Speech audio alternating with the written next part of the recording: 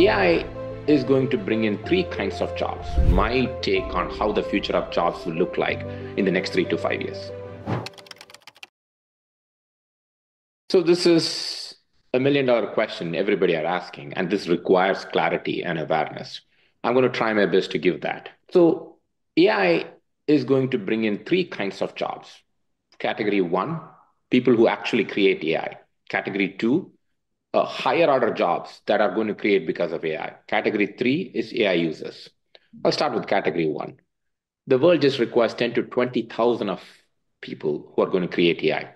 Honestly, it's a tough job, and I don't think so we should have a tra- strategy for it. And the volume of work is also very less, so I'm just going to ignore it.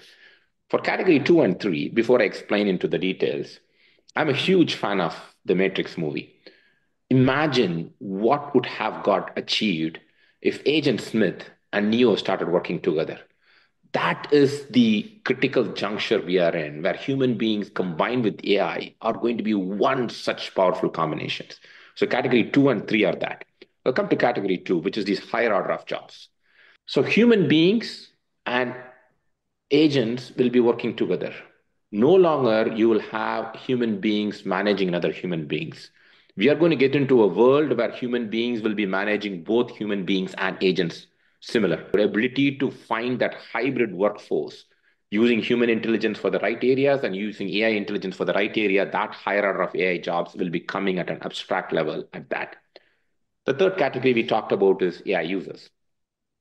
So AI users, as I mentioned before, uh, the each large language models has over a million Einstein brain embedded in them a person's ability to use that intelligence, tap into the right intelligence to get the desired outcome, that will be the third category that's AI users. So many such things will come into picture.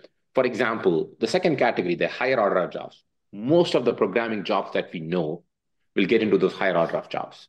In reality, a project that requires 10 programmers can be done by just one programmer partnered with the right set of agents.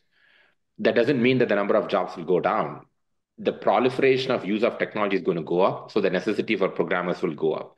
And we are going to compensate that by both human beings and also with agents. That's the second one.